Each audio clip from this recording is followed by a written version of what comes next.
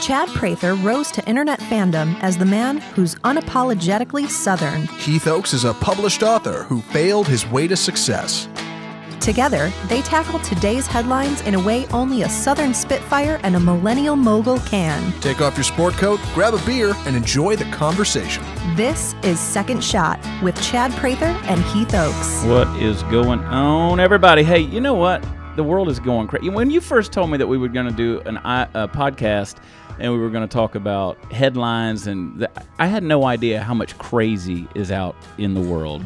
Every day, the crazy it it I should not be amazed by it. However, somehow I continue to be amazed by it over and over. It's lunacy on steroids. But speaking of lunacy, we got, uh, of course, Heath Oakes, and I'm Chad Prather, and we've got producer Zach, and we've got producer Kristen in here. And Hey. Kristen, Hello.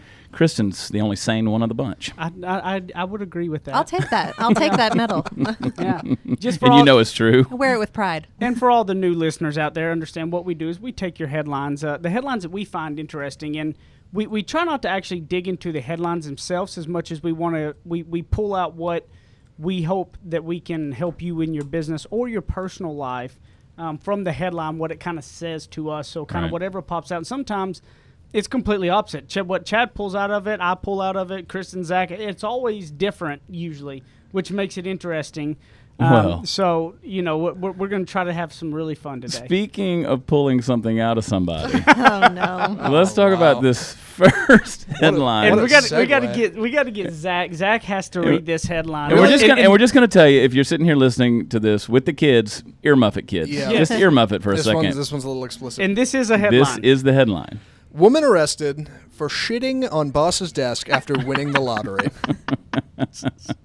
You know what? There's the something next to be part. Read the said. next part. The the the, the yes, next one of it. Because uh, just a 41 year old woman had the winning lottery ticket worth over $3 million on Friday night, but showed up to work anyway on Monday to deliver one last package. Mm-hmm. The package was very hot and very steamy. Oh jeez.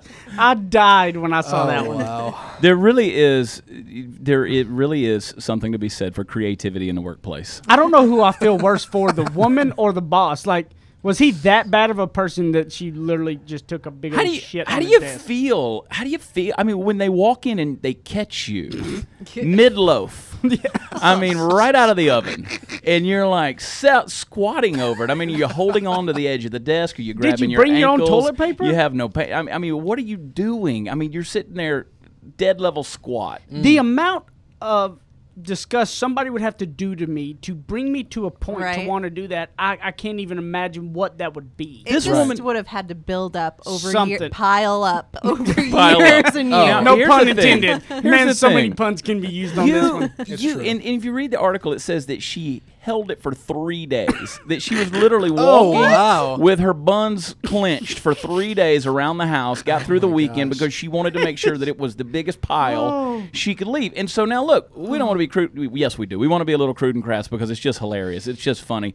This is this woman. You got to give her a medal. I mean, the acrobatics that went into this thing. Not only did she hold it for three days, she has to come into work. She got dressed that morning, comes into nimble. work. She has to go wait till her boss leaves the office. She climbs up on his desk chair that probably has wheels, so she's got to mm-hmm. maneuver on that thing. Yep. Shimmies her butt up on that desk, squats down, and then gets busted and gets arrested. Now there's things that you could get arrested for that you know I would love to see her mugshot. it, it when there's that kind of planning involved, I mean, you have to put it back on the woman. Like I, I, I kind of think it, there's not something so wrong with the boss. Like there's seriously something This wrong. But lady how is bad? How bad did that boss have to be? Well, but Yeah. you, you're right though. She had to be off. Like he may not have, he or she may not have been that bad, but that person she I had can to understand like crazy. hating your boss and wanting to exact revenge, but if there's if you're to the point where you're like planning it elaborately and putting your bowels at risk, like that's that's another Oh. level of crazy. No. Oh, I love the forethought. She won the lottery and thought to herself, finally, here's Yeah. my chance. well hey at least she could afford the bail Well, But you know, you you, know what I take out of that the most though. Wh- Whenever I saw it and I, and I looked at it, besides laughing extremely hard, but I thought about you know what, what they talk about how you never want to burn those bridges, right?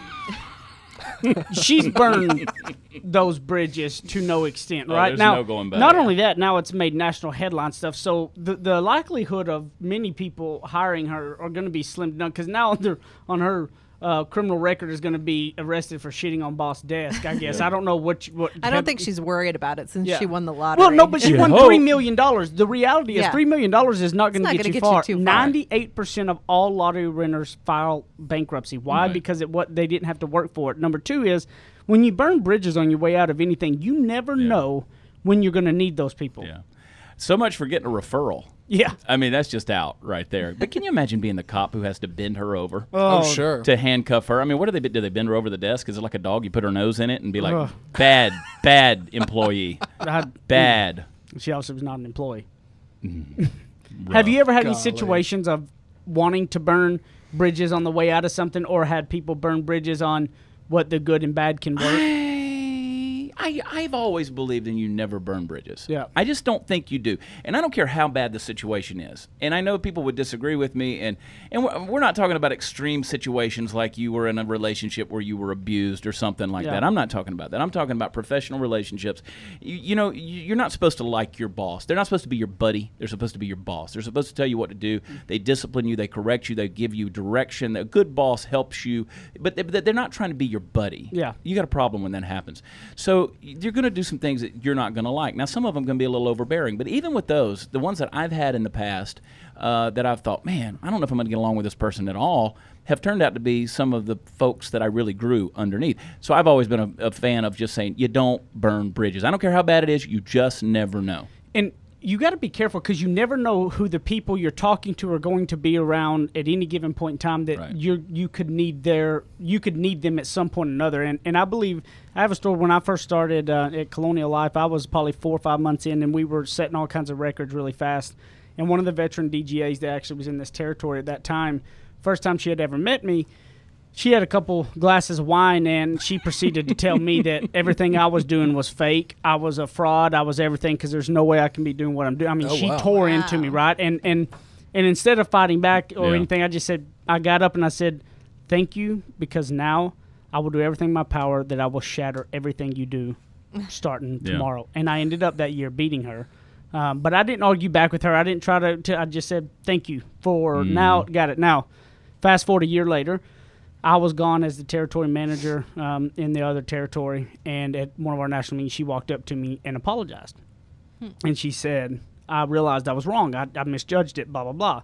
Fast forward two years later, than that I came back and I was the bo- her boss. And she called me the day it was announced and said, "I'm so glad I apologized to you." That's so funny You know, but what she did was is she she had a moment of emotional that she didn't control, but yet she corrected it by apologizing, and and in return, she ended up becoming uh, one of the top managers in the entire company. Whenever Yeah. I got back here, and so I talk about it whenever you go. You never know who you're going to need, and also. Being the emotional one and doing the fire and cussing everybody out on your way out of whatever it is, and, and no matter how wrong people do you, that's what's expected. Yeah. So if you want to be the minority, the one that people really remember is the ones who never go back for their revenge, the ones that never go back for their last sake of what they're going to stay, say, right? That last word type person. Those are the ones everybody remembers in, Right. in, in a negative light. Be the one that has takes the, the higher road. Be the one that says, I'm going to just keep my mouth shut, kind of go on with this because I want to be the minority. It's okay to leave a job, folks. If it's time to leave, it's time to leave uh, for whatever the reason is.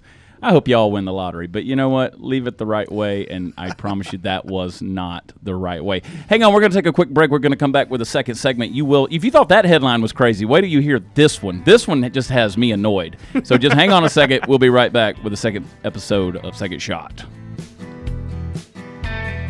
He likes cowboy hats and boots. And he's a suit and tie kind of guy. Chad Prather and Heath Oakes host more of Second Shot coming up on RNCN.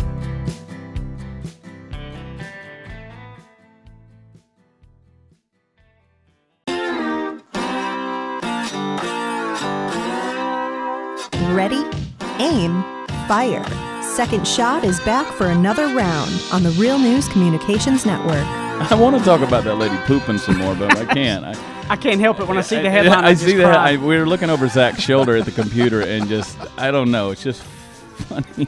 they had a picture of the I don't know the, some gastrointestinal thing going on over there. Uh. oh my gosh, this is one that I can't believe, and I and I'm You're you know, excited about this I- one, aren't you? no, oh my gosh, I, yeah, I don't know how to feel because this is. I went to school, University of Georgia, and this this emanates out of the University of Oh. Georgia. There's a professor there named Richard Watson, and he has come up with a new policy for his students. The headline says, "Professor encourages students to." You're going to hear this right now. Choose their own grades to reduce stress.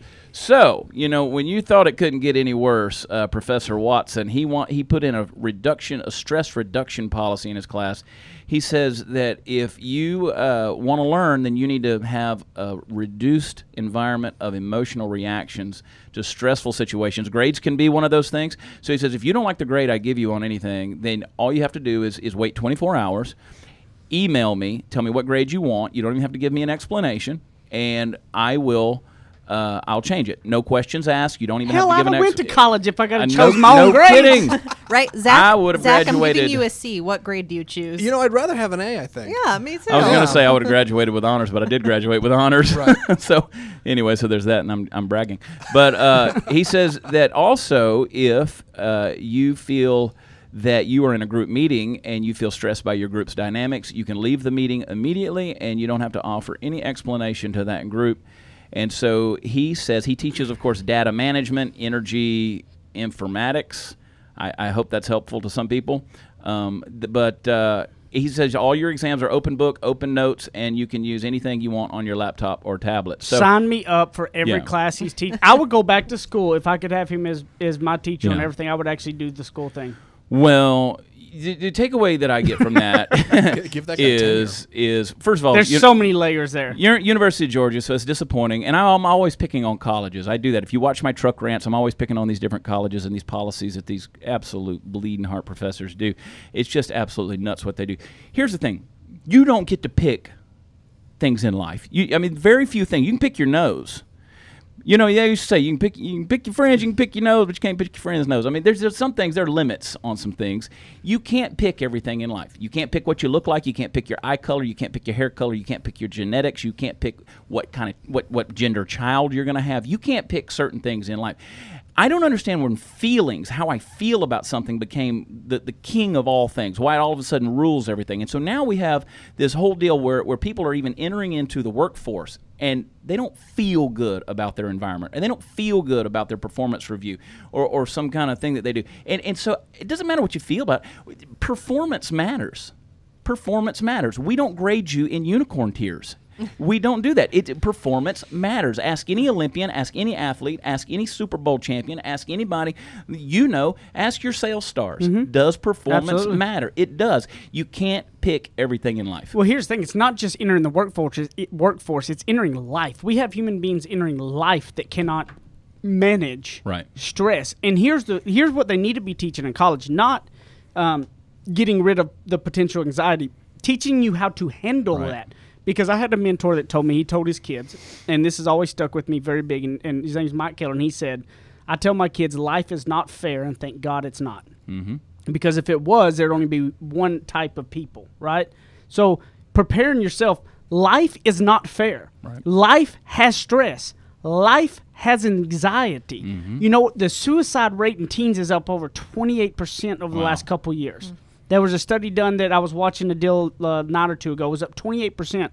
Well, the reason is is because we coddle everybody. Yeah. We're not letting you, we I want you to I want you to deal with the I want you to have failures and the hardships because I, I need to be that the professor should be there to help you Yeah. overcome those because that is reality. Nobody's protecting you in real life Right. from your feelings. Right. You have to know how to handle them. No, we don't always do it perfectly, but you got to know how to get over those humps because that's life. That's real life. There is no picking your your time you want to get depressed and the time you're not because we all deal with it. I think there's a I, I believe there is a, a sign I believe there is a, a disease of, of depression, but then I also believe there are people that circumstantial. that, yeah, that- absolutely. that, That are you've circumstantial. created yes. you've created an environment whereby that thing Yes. breeds itself. Yeah. And so you've got to learn how to handle those because we all deal with it. I know that everybody likes to think that some people were just positive and we never are down. BS. There's several times I'm down. I have just learned a ways of coping to Right. handle that. That's real life. That's real life. This professor's not setting them up for real life. That's right. And you wind up winning the lottery one day and shitting on your boss's desk because you can't handle situations of anxiety and tough environments. I have a question. You know, like where does this professor come in thinking that he can trust his students Right. and like empower them to, Right. I mean, I understand in in a small business setting, maybe you're working with four or five colleagues and you feel like uh there's trust that's built uh, you know amongst you and and you Yeah. can empower them to kind of give you feedback. But when you're working with students who you've never worked with before, who are just walking into a classroom, how is he believing that he can just empower them with this much trust and Right. and them to handle it appropriately? No. Well, Don't- obviously i- they it- can't. yeah. They can't. That's what he's trying to reduce. It has to be built. He, he's setting them up on false pretenses of what life is going to be, and he is setting them up, in my opinion, for the future of the kids that deal with the depression that can't ever get out of their own way because he's setting them up for false hope. Yeah. That is not real life. It's not. Do you graduate and get to pick your salary? Do you get to go pick your work hours? Do you get to go pick the people that work in the office with you? You don't get to pick those things. That you're, you're thrust in those environments. Mm-hmm. Do you get to pick your benefit package? You don't get to do those things. You just don't get. It. Do you get to pick when you retire? Let's say I don't want to wait till I'm 65 or 70 Well, years old to retire. Some people have the ability to. If you're building your own business, doing all that. but the people who do that have have handled adversity and they have succeeded and they've made something out of it. Because it's impossible to get there without handling There adversity. is no one on the planet in the history of humankind who has ever been successful by having everything given to them. That is not success. That is inheritance. That is not success. Wasn't you were given something. Wasn't Abraham Lincoln's first um, uh, the first uh, election he won was for the presidency? Because didn't he like lose two or three? No, I, I think he finally. Good, you're going to call me out on history, and I'm going to be wrong, and people are going to. But I think I, I think He I lost think he, he several- won a Senate seat. He won a Senate seat, But he had that, lost, he lost several a lot. elections. Yeah, he yeah. lost a lot. Yeah, But- and dealt with depression. yeah. He dealt with losing a Yeah. lot. Like like in real life, adversity is key. I believe the education system. I believe in education wholeheartedly. Even I'm, I'm somebody who didn't go to what we call our inst, our institutional education. Right. What I hate is that we use the word education on um, if you went to college or not, which is it should not go. That's not hand in hand. That's Yeah. the institutional education. I believe in education. I educate myself on a daily basis. I dig into everything I need to know. I learn and want to grow by putting myself around others that and and reading and learning. Right. Yeah. Our institutional education system is flawed. Our Right. a, our institutional education system is not setting up people for the best. This is the exact example of why suicide rates are up 28 30% because we're coddling people and not letting them understand in reality anxiety, stress, bad things will come your way and punch you in your mouth and you've got to figure out how to stand back up. You may lay there and get to that ninth second count, but you got to stand up on the 10th. Yep. In 1959, they launched the Barbie doll line. Barbie came along. Barbie had it all. You could choose whatever Barbie wanted to have. She could have every accessory. She was a fashionista. She could have a car. She could have a big house. She could have a motor scooter. She could have a kid if she wanted to. She had every job from aerobics instructor to being president of the United States. Barbie has had it all. She's even got a, a, a, a emasculated boyfriend that she trades in and out constantly because he is anatomically gender neutral. So, it, but Barbie's had all of those things. And so, what we've taught ourselves mentally is that our life is supposed to be like a Barbie doll. You add to it. You pick and choose all the accessories you want in life, whether it's your grades or whatever. But here's the problem with that: you can try to pick these things. You can pick your perfect spouse and all that. But go ahead and pick out your divorce lawyer too, because if you get to pick walking away from environments that you feel stress in. Guess what? You're not going to have that all the time in a marriage or a work environment or anything else where you put yourself around other people. There will be stress, and the only people that are ever going to succeed in life are the people that can handle that successfully. learning how to cope and handle the stress and and all that is absolutely the biggest key to it. The negative people who want to say that it's everybody else's uh, everybody else is lucky and they are not are the people that cannot handle stress and anxiety. They want to believe that everybody who's doing something is because they are lucky and they got lucky and then me poor pitiful me go. I'm not, right? That's what happens. But the reality is the people that have made it are the ones who've had 10 times more stress than you could ever possibly imagine. They just choose Mm-hmm. not to uh, whine and cry on Facebook and Twitter every day and tell everybody about how everybody's piss poured on them and that their life is, is horrible, right? That's the reality. Those people just don't sit there and express it all. They handle it differently. They get around other people that make them better when they're down to pick them up. You've got to find the people that will pick yourself up when you're down. You've got to figure out how to cope and handle those stresses because I don't. I believe. I told them that if my daughter wants to play say softball one day, and at five years old, and if they don't keep score, I will create my own league before I let my kid be in anything that doesn't do it. because you know what? I want my daughter to deal with failure when I'm there to pick her up. I don't want my daughter dealing with failure at 24 years old when I'm not around as much, right? Right. I want her to be there and cry in my arms and let me teach her how to get over it Right. and what she did wrong with it. I want to be the one there when she falls flat on her face and breaks her nose and is crying everywhere and go teach her how to handle those things. Like I don't want the realities of life to hit her when I, I can't be by her side Yeah. every day. And we're setting our kids up for failure when we let them all get a trophy and we all let them Come go on. on by. Preach it, son. Mm. All right, we got to take a break. We're going to come back to the third segment. I've got to take a dump, and I'm going to go find a desk. So hang on. We'll be right back with Second Shot.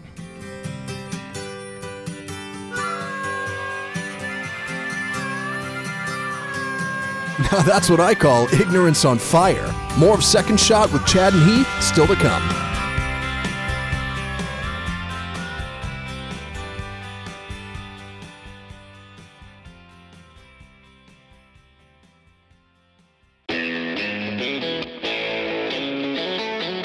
Your boots or suit up. The choice is yours. Welcome back to Second Shot with Chad and Heath on RNCN. We, we're dropping nuggets all through this podcast, and I'm not talking about poop. I'm talking about wisdom.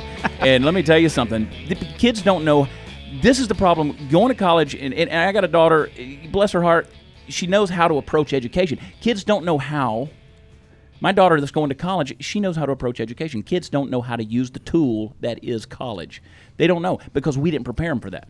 We didn't educate them. We didn't teach them how to think critically. We didn't teach. You have never learned anything worth knowing in a peaceful, easy environment. Never. Never. Because thinking is work and thinking is uncomfortable. Well, my book is Felling Your Way to Success because the greatest educational learnings that I had was through my failures. yeah.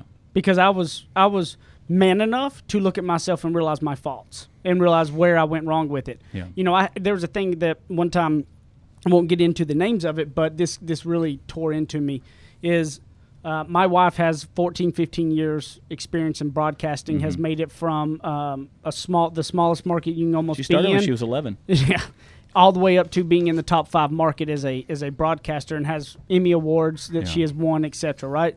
There was a, uh community college that had a part time uh, broadcasting job open, and she was like, you know what, I would love to. It wasn't obviously it doesn't pay very much at all, but it was like, you know what, this would be good for me to give back to kids. Like, Yeah. this could be kind of. It was like one night a week, so it wasn't going to be a lot, but it was. She thought that Yeah. that was going to be something fulfilling they wouldn't they they wouldn't um, even look at a resume because she doesn't have a master's degree. Wow. So they're going to hire somebody who failed in the broadcasting but yet has a master's degree to co- to teach that class when those kids could have the chance from learning from somebody who has I mean, she the woman has a print journalism degree from the University of Idaho. Name how many people in broadcasting ever came from the University of Idaho? Right. a print journalism degree. They didn't Right. have a broadcasting department, right? So she hustled her butt off to get where she is Mm-hmm. to work where it is. Would you want your kids learning from her or from somebody who couldn't hack it but yet has that degree? Right. That, that's my problem with the institution of education these Yeah. days is that we don't want I would want my kids to be learning from her, Yeah. not any I mean But I, it, it's a problem that translates into the workforce as well because so many employers just want to see that oh you have these you know exact specifications and they won't even consider you for hire. Right. And it's like what happened to street smarts? Street you know? smarts. well here experience. she here she was here Yeah. she was basically going to be doing it for giving back really Yeah. the the hours to put in she don't need the money it was just going Yeah. to be a giving back and so the 15 years experience of making it in the business at some of the highest levels you can be is not worth the master's Listen, degree. whenever whenever I you know I've, I've bounced around and, and did a lot of things. I was in the in the speaking world and all of that, but but because I I had situations where. Uh, I potentially had an opportunity to work with some television stuff, kind of be a talking head, a communicator, that kind of thing. And they looked and they said, "Well, that's not what your degree's in. You don't have any formal experience in that deal like that. We don't. We don't. You know, basically, we don't. We're not hiring you because we don't know if we can. You can do that job. No, I don't know how to communicate at all. I don't know how to put words together. I don't know how to string sentences. I only have 20 million views this week alone on the stuff that I say from the cab of my truck. So no, I don't know how to talk.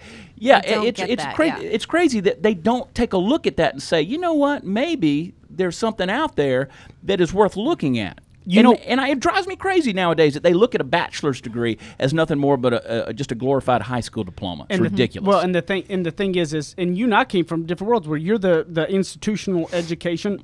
I am not. Right. I don't believe either way is wrong or right. People, I want you to understand something. I 100% believe in education. I believe I wouldn't even be close to where I wish that I would have been more. I wish I would have been hungrier in high school for education in general because I would be much further along. I believe I was not that hungry for it. So I believe mm-hmm. in education. Let me make that very, very clear.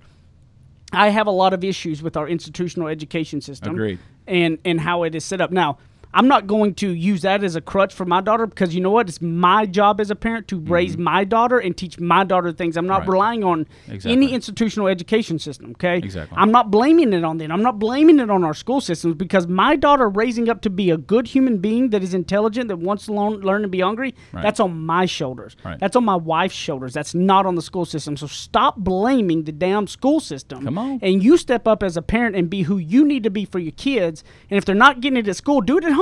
Heck, Right. You got more time at home than they do than the teachers do. That's exactly right. So if you're listening and you're a parent and you, you or you're an employee, I mean, do, do the same deal. Go home and study if you're an employee. You want to be better. Exactly. Go home and work. Exactly, and let and speak into somebody's life. Help them know the sense of direction that they need to know in life. Teach them how to think. If you don't understand the concept of critical thinking, buy a book on critical thinking and read the stupid thing.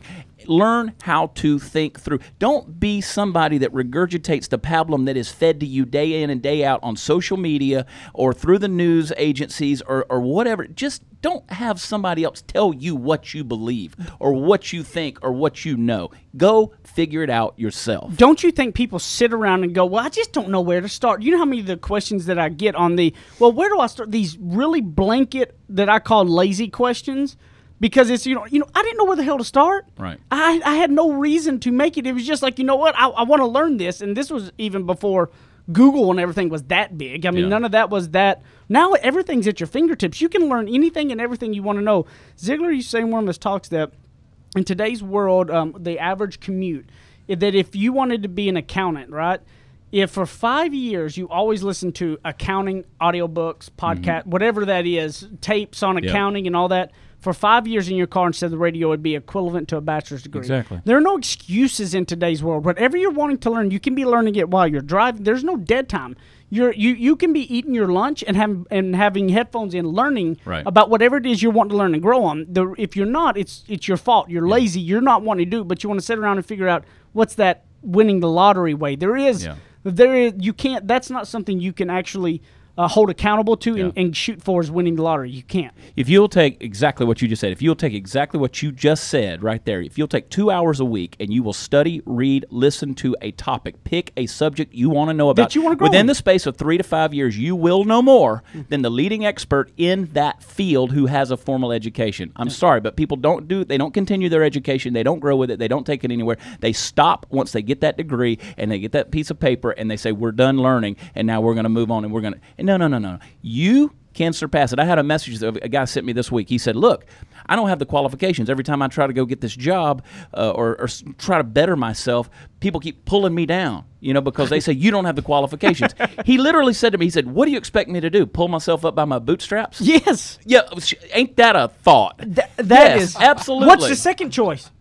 Your Exactly. second What are you choice? going to do? Nothing. Wallow Dude. around and be a victim. Waller, right? Waller. Yeah. Waller. Exactly. Second choice is do nothing, whine and cry with yourself, and not be anywhere forward. Yeah. The first, the other option is you pull yourself up by the bootstraps and you go make that happen. And if you fail, that's still better than the other. At least you gave yourself a fighting chance. Imagine at that. something. Imagine that. Somewhere in that guy's mind, he's thinking, "Well, nobody in history's ever busted their ass and been successful." Yeah, yeah. I'm expecting Bernie Sanders to give it to me. But you got I, I to. mean, I you, mean, you have just not. you have, doesn't happen like you that. have to go back though too. Is you got to realize who are you surrounding yourself with. You're not surrounding yourself with people. If you're surrounding yourself with people that are feeding that thought, you've got to change. Mm-hmm. And if you're not fueling your thought within, I promise you right now, your life will be incredibly changed if you if you spend 15 to 20 minutes every morning reading some type of success book on a successful person or successful topics of whatever on successful people that's what i engulfed myself in early on because what it helped me realize was as i was going through the rough times of failing and not making any money and doing all that Yeah. as i was reading all them i, I had this realization of who am I to think I am too good not to struggle when all of everybody I've ever read about that's all these successful people have all went through more Yeah. than what I'm going through right now. So who am I to think I'm too good not to have it? Yeah. What it helped me do was realize to not sit around and waller in my in my pity Yeah. and step up and realize, look, if they had to, I, I should have to. So I welcome it. You're 30. I'm 44. You have no formal education. I do. How many sources of income do you have off the top of your head? Random. Eight, nine. Eight, nine. Okay. I've got 13. So it only took me 44 years to get there. Yep. But you know what? I'm a go getter, and I've hit the bottom so many times. We've talked about Oh, this. yes, absolutely. That you keep picking yourself up and you keep going. Nobody's going to hand it to you. We didn't get to any emails, but you can We always. will we will next- on at the the next very week. least, you can Um, take 30 minutes yeah. every week and listen to the Second Shot podcast. That's Yeah. exactly right. Well, and here, and here, we'll tip- preach at you. tip- we preach today. typically on this third segment, we take your emails and we answer them, and we got some. We're going to answer them on the next podcast because this one just kind of, I guess, got us hot and rolling, and We had stuff to and talk we about. wanted, you know, real steamy as we go me back to the first one, right? Um, but it's secondshotcast at gmail.com. Send us any questions. Send us um, comments. Send us whatever you want. We're going to read them on air for you. Look me up at Heath Oakes and at Ignorance on Fire. Share this episode with your friends. Write us a review. We need to get that booking up so we can get more of this in front of more people. That's right. Find my touring schedule at watchchad.com and also visit my very controversial politicalcowboy.com and we'll have some fun. Follow me on Twitter at watchchad and tune in next time for another episode of Second Shot.